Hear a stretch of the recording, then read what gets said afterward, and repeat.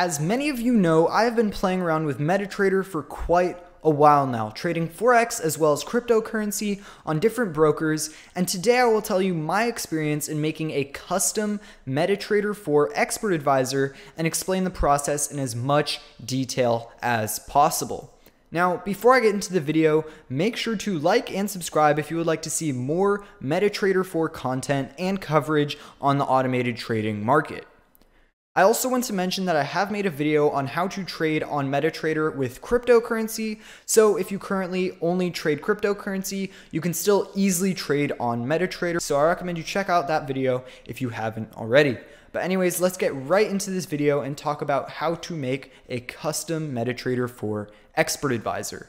So I will talk about strategy in this video and what you should propose to your developer when making a strategy on MetaTrader 4. However, one thing that a lot of people are going to immediately ask me is where should I go in order to find a developer for MetaTrader? Who should I use and what should I give to them? So I will explain all of that in this video, but the first thing is finding someone to make your expert advisor for you. So what I did is I went on Fiverr and I will have a link in the description down below to the person I specifically used and I found one of the highest reviewed people on Fiverr in order to code my strategy.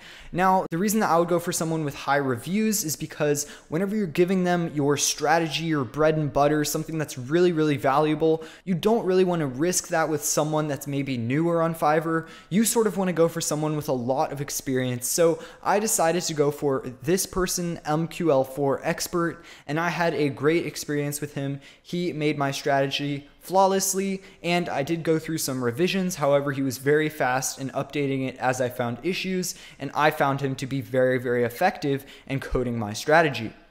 So the general cost for this for me was $255 for the premium development.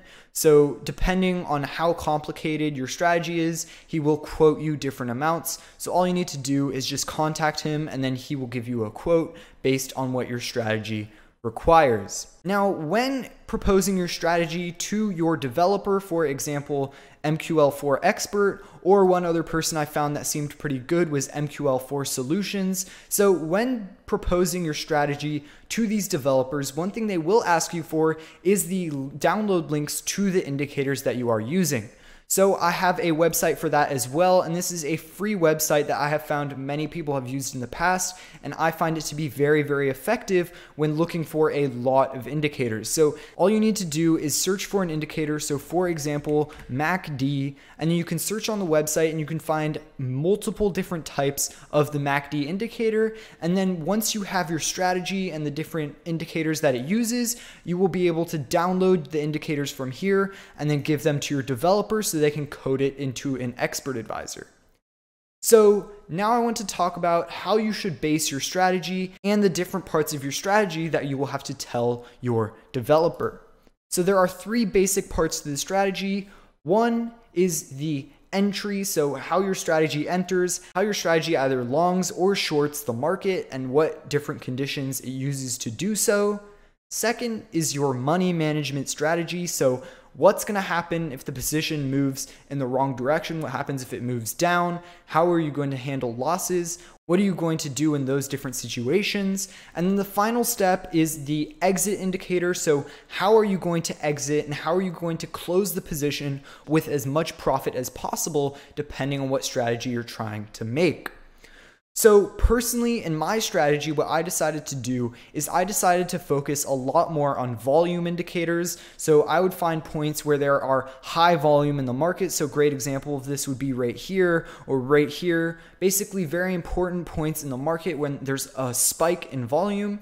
And then what my strategy does is it uses a certain money management strategy in a way where no matter what direction the market moves, I will still be able to profit as long as it is a fast move. So that is what my strategy is generally based on. However, all you need to do is go on one of these platforms. You can go on TradingView, you can search for indicators, you can go on bestmetatraderindicators.com, you can look for different indicators on here. Then what I would recommend you do is you go on your preferred trading platform, for example, TradingView or MetaTrader, and then I would manually trade your strategy to make sure it is profitable and make sure that it is viable to automate because if your strategy has a lot of different components that are very variable, for example, if you say I only set my stop loss at this magical level that I change all the time, then that's not going to be able to be automated. So you need to find something that can easily be automated. So for example,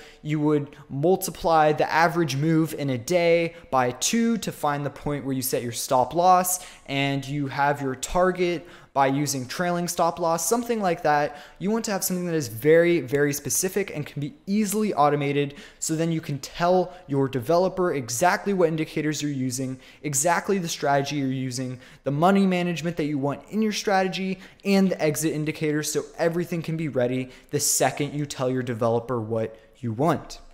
Now, after you have your indicator and after you have everything made, the next step you want to do is go to MetaTrader and then backtest your strategy. So this is something I just wanted to quickly show in order to teach you guys how to properly backtest your settings. So MetaTrader has this really, really cool feature where you can basically automatically find the most profitable settings possible. And what this is, is this is an example right here with just a basic moving average expert advisor.